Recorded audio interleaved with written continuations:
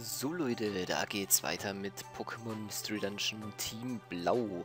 Ich habe ein klein wenig trainiert und schon ein paar Vorbereitungen getroffen, damit wir jetzt gleich den Donnerberg besteigen können. Und ich möchte gleich mal ein bisschen sagen, was ich gemacht habe.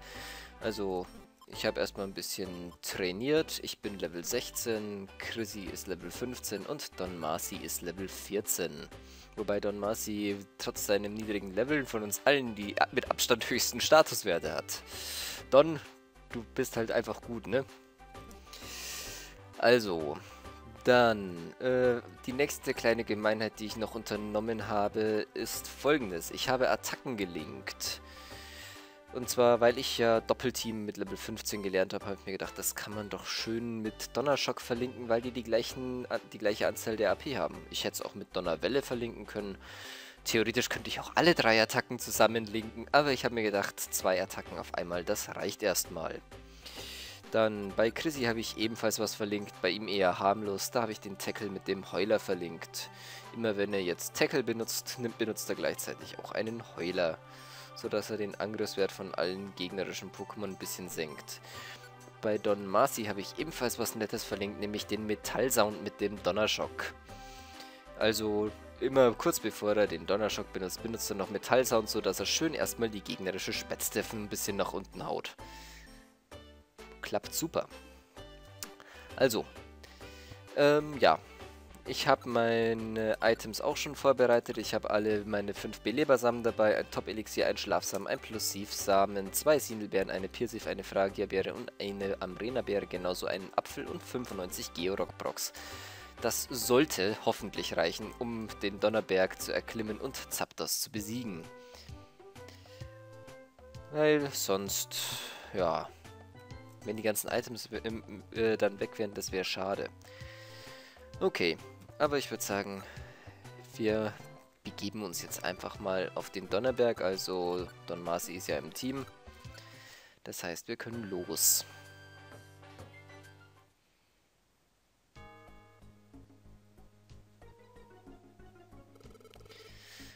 Wir sind hier am Fuß vom Donnerberg. Ob, ob Simsalas Team bereits auf dem Weg ist? Zapdos. Der Name klingt noch stärker. Ich zittere. Ich darf jetzt keine Angst haben. Unser Ziel ist einfach erklärt. Wir werden Tingulis retten. Kilian, versuchen wir unser Bestes. So, Donnerberg. Und hier finden wir auch gleich eine Sinelbeere. Das ist doch schon mal schön. Von denen kann man echt nie genug haben. Gummi, Gummi, Gummi, Schwarzgummi. Dann ein Haufen Geld. Treppe.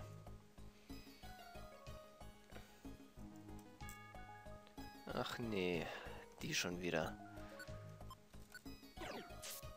Gegen die kann ich meine Elektroattacken nicht benutzen, weil sie Blitzfänger haben.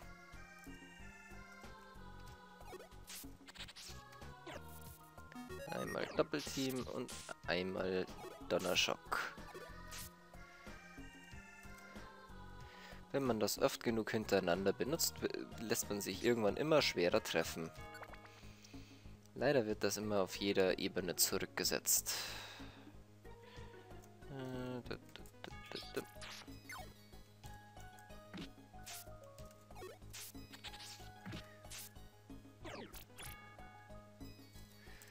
ja, ja, das ist das Problem an der Sache. Pokémon können hier nicht nur eine Fähigkeit haben, sondern alle, die sie sonst so haben können. Schade, dass es hier noch keine versteckten Fähigkeiten gibt, sonst hätte ich nämlich neben meiner Statik auch noch einen Blitzfinger.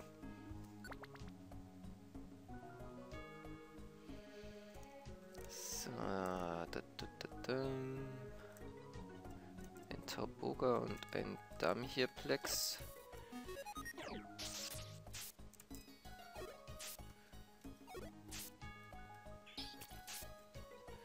Das Darmhirplex hält ganz schön was aus.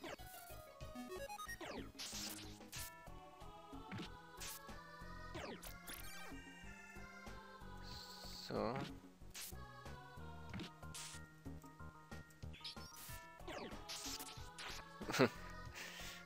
Das haut ganz schön rein mit der Combo.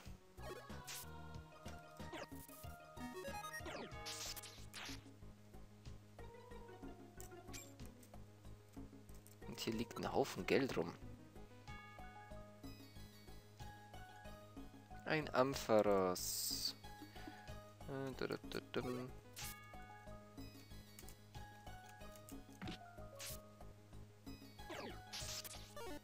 Huch. Gut, dass der daneben gegangen ist. Der hätte wehtun können. Chrissy hat's hier echt nicht einfach. Ich muss ihn eigentlich so gut wie es geht beschützen.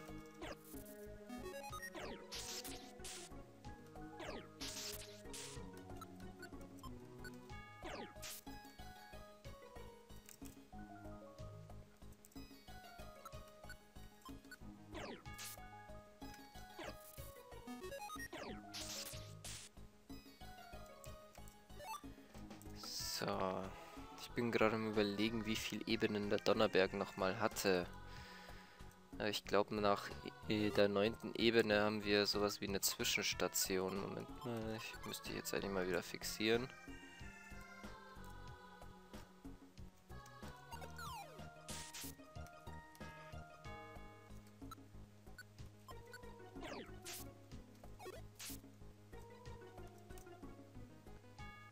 Pokémon hier geben auf jeden Fall ziemlich gute Erfahrungspunkte. Oh, Moment, ich habe hier schon wieder eine Dungeon-Ebenen-Struktur erkannt. Manche Dungeons sind nach bestimmten, also manche Dungeon-Ebenen sind nach bestimmten Mustern aufgebaut. Oh nein, Voltenso. Die sind noch schlimmer als Fritzelblitz. Da, da, da, da, da.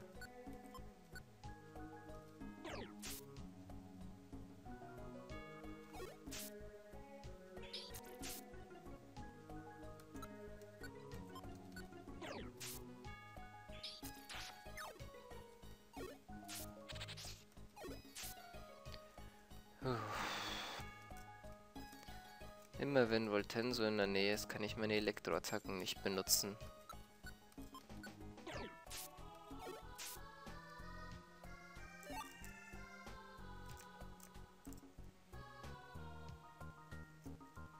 Dabei sind die doch so wichtig für mich. Ich meine, was ist ein Pikachu ohne seine Elektroattacken? Ein Graugummi. Den essen wir jetzt einfach mal. Magen ein bisschen auffüllen und ich krieg die IQ-Fähigkeit AP-Prüfer. Ja gut, bringt mir jetzt nicht wirklich viel, da ich mich selber sowieso steuere und solche IQ-Fähigkeiten eher für Partner nützlich sind. Moment mal. Dann haben wir das mal so. Ja, jetzt fängt das natürlich. Hey.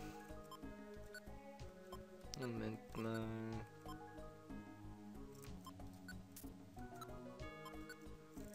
Dann müssen wir es halt so machen. So, jetzt hast du auch den AP-Prüfer bekommen. Hast du den jetzt auch schon an, oder? Nö. Ach, Moment, das geht ja überhaupt nicht zusammen mit Attacken und so, okay. Ganz vergessen. Wir haben eine Sinelbeere.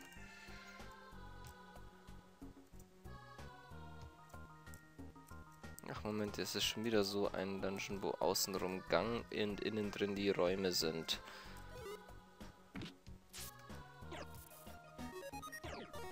Okay, der, das Voltenso ist zu nah.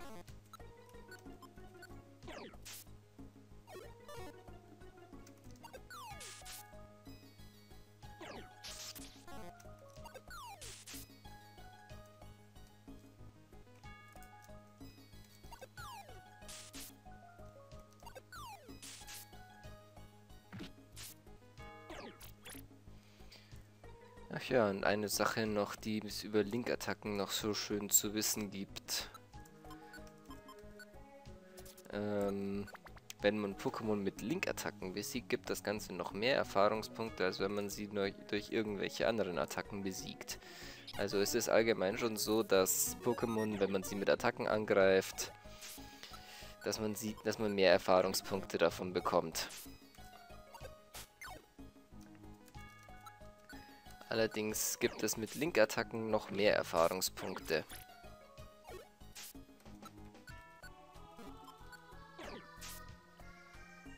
Mit Link-Attacken muss man lediglich vorsichtig sein, dass man sie nicht leer macht.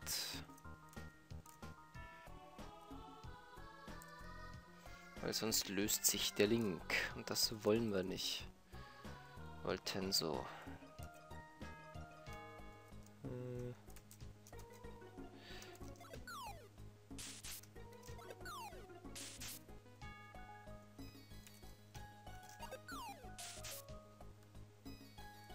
Größten Feinde hier. Okay, wir sind hier in der Donnerberg-Mitte. Hier können wir mal ganz kurz speichern.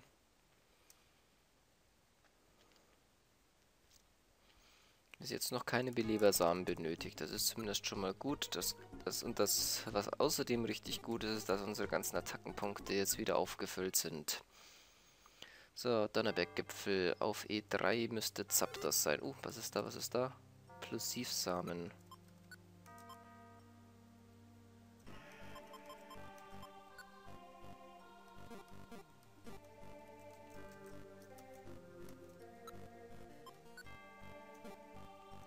Hm. Hier. Den kannst du haben.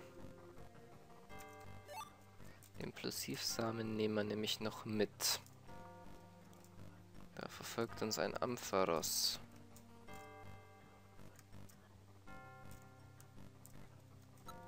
Okay. Bitte lass kein Voltense in der Nähe sein. Es ist kein in der Nähe, aber trotzdem, ich treffe einfach nicht. Ich fühle mich gerade verarscht.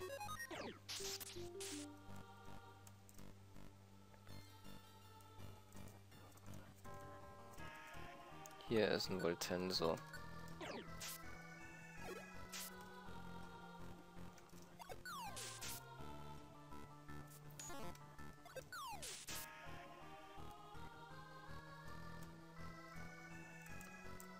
Ich will nur diese blöde Treppe finden.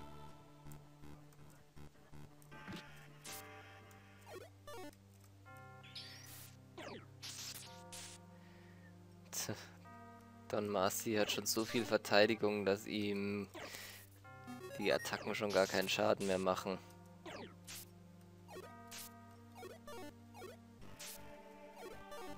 Und ich habe so viele Doppelteams drin, dass ich kaum noch getroffen werde.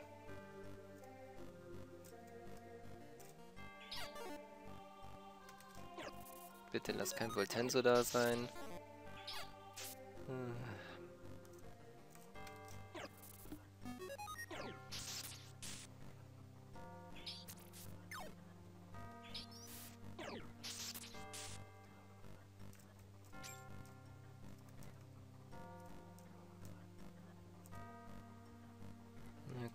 Okay, hier ist auch nichts. Ähm.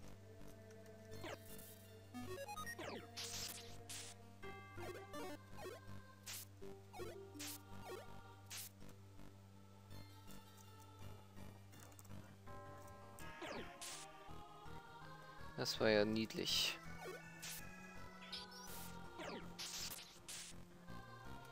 Wie viele Attackenpunkte habe ich noch? 10. Okay. Hier ist die Treppe. Ein Fukano. Was machst denn du im Donnerberg? Ah, natürlich ist hier wieder ein Voltenso in der Nähe. Das ist ein Gelbgummi. Das ist sehr gut. Weil Gelbgummis sind die besten für Elektro-Pokémon.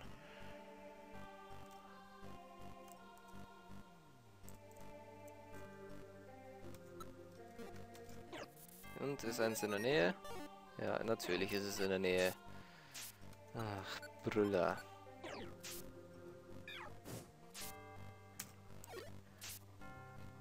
Chrissy, kümmer du dich mal drum. Ich helfe dir von hier hinten.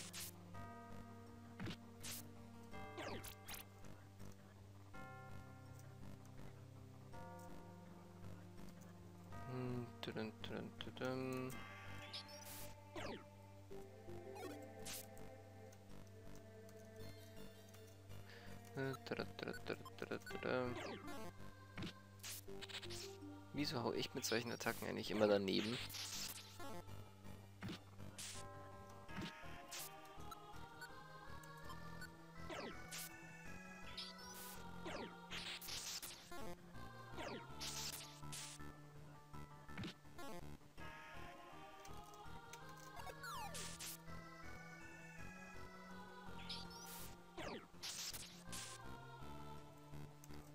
So. Voltenso weg, kein Problem mehr. Jetzt weiß ich nicht, ich fülle mal lieber die KP vorher nochmal auf.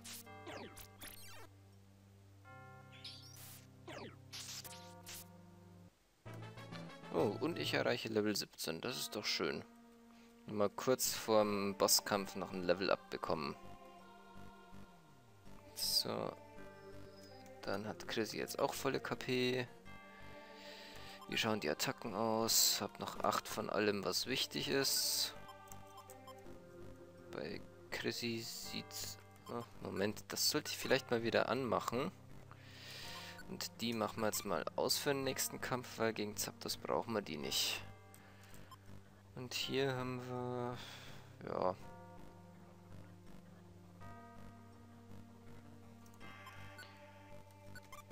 Du machst mal hauptsächlich das. So. Dann kämpfen wir mal gegen Zapdos. Wir sind am Gipfel angekommen. Hey, Zapdos, wo bist du? Wir sind hier, um Tangolis zu retten. Komm schon. Ah! Ich habe euch gewarnt. Mit Eindringlingen kenne ich keine Gnade. Ich... Ich habe überhaupt keine Angst. Hey Zapdos, lass Tangolist frei. Wir sind ein Pokémon-Retter-Team. Ich höre große Entschlossenheit aus euren Worten. Also stellt euch meinem enormen und gerechten Zorn. So, bevor wir jetzt irgendwas machen. Chrissy, ähm, dass du da vorne stehst, das gefällt mir jetzt gerade nicht so. Du machst mal bitte das hier.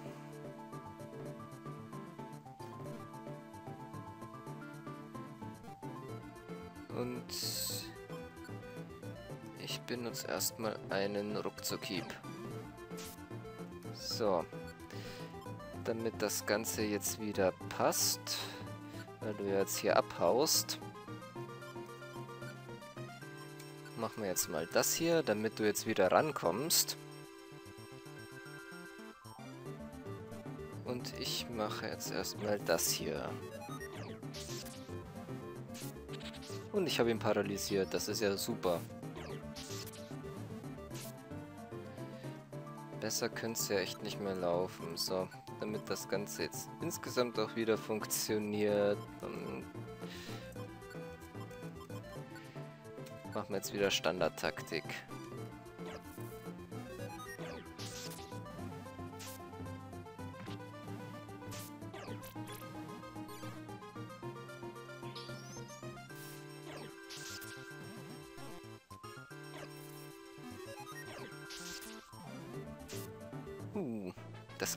Besser als erwartet. Der ist gar nicht zum Angriff gekommen. Ich glaube, ich habe ich hab mir ein bisschen zu viel Sorgen gemacht, aber ich hatte auch einfach ein bisschen Glück jetzt gerade.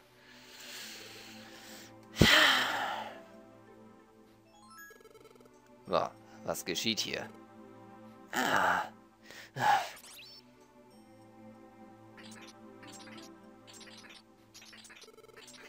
Willst du noch mehr? Komm nur her.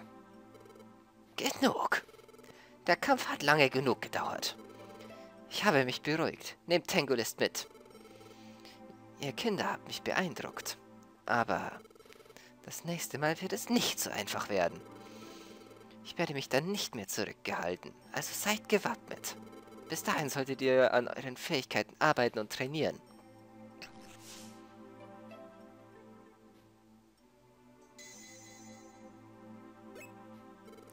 Seht mal, da ist Tangolist. Bist du in Ordnung? Ah, oh, ja doch. So einigermaßen. Ich bin froh, dass du in Sicherheit bist. Das war spektakulär, dass ihr Zapdos vertrieben habt. Jawohl. Für so ein schlichtes Pikachu bist du äußerst stark. Ich habe es bereits bei unserer ersten Ge Begegnung gespürt. Vielleicht... Du bist kein Pokémon, ist es nicht so? Wow, wie kommst du darauf? Aber du hast recht, Kilian ist kein Pokémon. Kilian ist ein Mensch. Was? Äh, ein Mensch? Ist das möglich? Kann so etwas überhaupt passieren? Kilian kann es sich auch nicht erklären. Kilian wachte eines Morgens als Pokémon auf und erinnert sich überhaupt nicht mehr daran, wie er es als Mensch war. Oh, warte mal. Lombrero hat damals am Pokémon-Platz etwas erwähnt. Er sagte, Simsala wüsste alles. Simsala, hast du eine Ahnung, warum Kilian zu einem Pokémon wurde? Nein, das ist mir nicht bekannt. Oh, ich dachte, du würdest es wissen. Jedoch, es gibt einen Weg, die Wahrheit ans Licht zu bringen. Oh ja? Welchen denn? Begebt euch auf die Reise zum Berg der Vorzeit. Dort lebt ein Pokémon, das stets in den Himmel blickt. Ein Pokémon, von dem es heißt, es könne in die Zukunft sehen. Xatu ist sein Name. Er sollte dich in die Angelegenheit deines rätselhaften Freundes bringen können. In Ordnung, lass uns zu Xatu gehen. Gehen wir, Kian, auf zum Berg der Vorzeit. Wir haben keine Zeit zu verlieren. Lass uns schnell zurückgehen. Tangolist, komm. Wir be beeilen wir uns. Äh, ja. Ich schätze, das sollten wir tun. Kilian? Jetzt steh hier nicht so rum. Lass uns nach Hause gehen.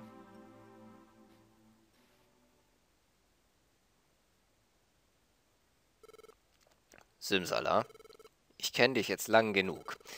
Das war doch noch nicht alles. Du weißt mehr darüber, nicht wahr? Es gibt etwas, das mich beunruhigt. Doch im Augenblick wollen wir davon schweigen. Um ihretwillen.